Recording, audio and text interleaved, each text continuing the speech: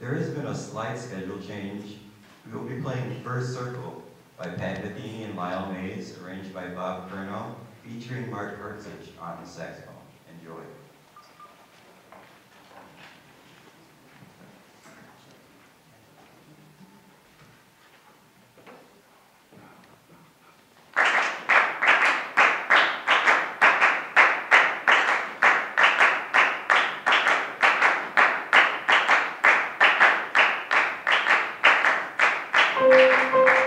Música